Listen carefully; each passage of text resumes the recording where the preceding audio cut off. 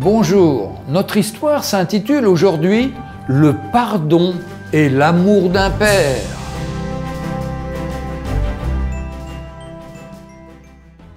Cela se passait en Espagne.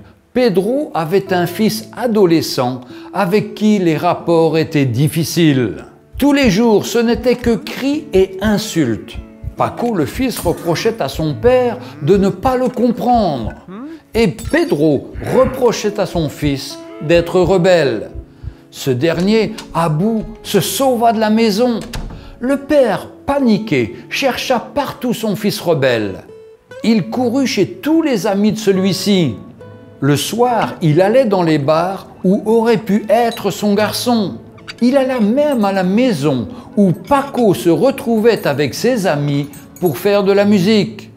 Mais Paco n'était pas là. Finalement, à bout d'idées et ne sachant que faire, il fit paraître une annonce dans le journal populaire de Madrid. L'annonce disait ceci. Paco, je te pardonne de tout mon cœur. Reviens à la maison, je t'aime et tu me manques terriblement. Retrouve-moi demain à midi devant le bureau du journal sur la grande place. Ton père qui t'aime et qui ne peut vivre sans toi. Le lendemain à midi, le père se précipita devant le bureau du journal. Il fut très étonné de voir 800 pacos qui attendaient. Chacun avait pensé que c'était à lui qu'était adressé le message du Père. Et chacun était venu rechercher l'amour et le pardon de leur Père. Et vous, savez-vous que le Père céleste vous adresse un appel? Reviens et je te pardonnerai, dit-il, à travers les prophètes de l'Ancien Testament.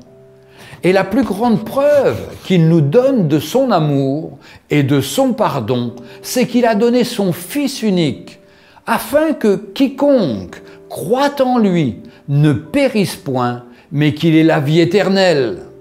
Et vous, avez-vous déjà entendu ce cri qu'il vous adresse à travers chaque page de la parole de Dieu, la Bible? Avez-vous vu sa main tendue vers vous, nuit et jour? Qu'allez-vous lui répondre? Attrapez cette main Entendez cet appel et rentrez dans la maison du Père. Il vous a préparé un banquet et des vêtements de fête. Comme lorsque le Fils prodigue est revenu, ce récit se trouve dans l'Évangile de Luc, chapitre 15, versets 11 à 32. Revenez, il vous appelle. Retrouvez un jour une histoire sur www.365histoire.com.